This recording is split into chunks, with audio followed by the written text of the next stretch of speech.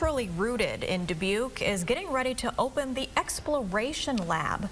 That lab provides a safe space for children to explore the arts for free. The nonprofit is providing art, music, and reading activities. Now, the lab is grant funded and aims to give children an outlet for their creativity. The music lab and art lab offer materials including keyboards, electric drums, paints, and clays. Centrally Rooted is seeking volunteers for its exploration lab.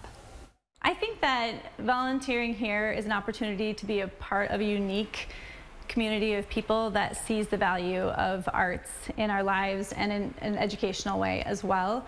It really helps the individual to be a fuller version of themselves. Starting August 23rd, Centrally Rooted will be open from 3 to 6 at night and 9 to noon on Saturdays. Now.